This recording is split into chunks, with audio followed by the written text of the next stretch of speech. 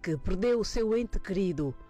Julião Rodrigo, de 28 anos de idade, era polícia de profissão e perdeu a vida neste último sábado na centralidade do Sequele, quando fazia patrulhamento apeado naqueles arredores. Segundo informações, três indivíduos não identificados fizeram disparos contra o jovem que acabou por morrer numa das unidades hospitalares do país. Maria André, a irmã do falecido, lamenta o ocorrido e descreve o seu irmão como alguém que nunca se colocou em briga. Julião tinha casamento marcado para dezembro deste ano. O Julião é um rapaz calmo, é, nunca se meteu em brigas. É um rapaz que epa, ingressou na polícia para dar o seu contributo a esse país. É, deixou uma filha de seis meses, tem, tem mulher, é, pretendia casar-se neste ano, estava a trabalhar arduamente para conseguir realizar os seus sonhos, mas infelizmente na madrugada de ontem tomamos conhecimento que de um confronto entre a polícia e os marginais, o gerciano acabou sendo atingido e perdeu a vida no local. Maria André referiu ainda não acreditar no que aconteceu, mas a família espera receber todo o apoio da polícia. É uma situação muito dura. Nós ainda não acreditamos no que aconteceu. Esperamos que a polícia continue a apoiar a filha do Gerciano, vai querer ser sem pai, a mãe do Gerciano, que também é, dependia dele. Graciana Caquinda, a mãe do jovem, com lágrimas e desespero, disse que o seu filho sempre foi alguém calmo. Ela era comportável, não lutava com ninguém, não discutia com ninguém. Ela era um menino calmo, calmo, aceitava tudo que ele fazia. Tudo que eu falava, meu filho aceitava, tudo que eu falava, meu filho aceitava. Eu vivia com ele e ela fazia tudo pela irmã, pela esposa. Quem também não para de chorar é a jovem Selma Teca, a mulher do falecido Julião Rodrigo, que lamenta o ocorrido e recorda apenas que o seu casamento estava marcado para dezembro deste ano.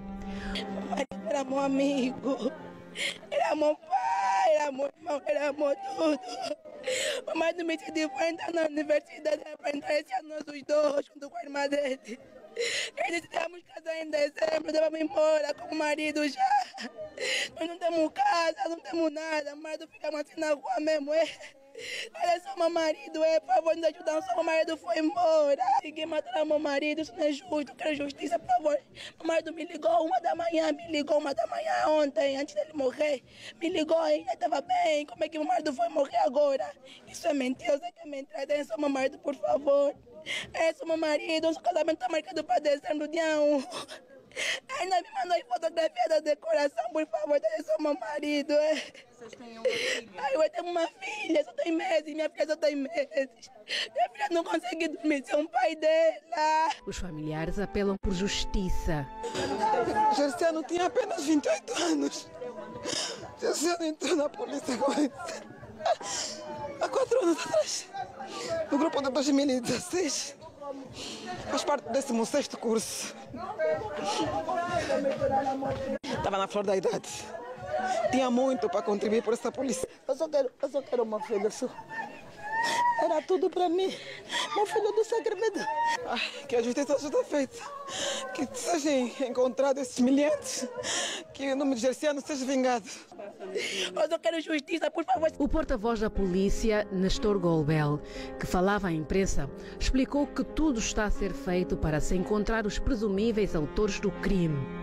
O Comando Provincial de Luanda da Polícia Nacional tomou conhecimento desta, desta ocorrência por intermédio do Comando Municipal de Cacoaco no dia 24 de setembro do ano em curso, por volta das 3 horas e 30 minutos, a altura em que a patrulha em que fazia parte o nosso afinado uh, Caquinda, de 28 anos de idade, quando devidamente escalados estavam em serviço, foram então solicitados a intervir uh, numa ocorrência de um roubo de uma viatura que estava a ser uma viatura que estava a ser assaltada E claro que, obviamente, naquilo que é o nosso trabalho, a patrulha diligenciou até o local, neste caso a patrulha Peado, a Gira Peado, e foram surpreendidos por uh, marginais que fizeram, tão logo aperceberam-se da presença policial, abriram fogo e atingiram uh, o, nosso, o nosso colega.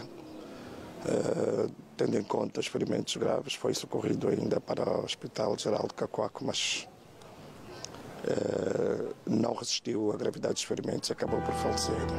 Por outro lado, mostrou-se solidário com a família, garantindo que a justiça será feita. A polícia, do modo geral, está comovida, estamos muito sentidos, estamos solidários com a família e claro que a justiça será feita.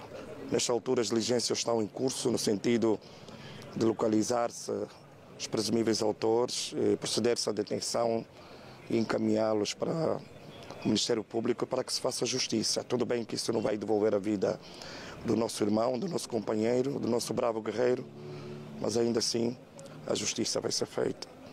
Portanto, estamos todos muito comovidos, estamos... Julião Caquinda Rodrigo, de 28 anos de idade, residia no bairro do Grafanil Bar, município de Viana. O jovem polícia deixa a mulher e uma filha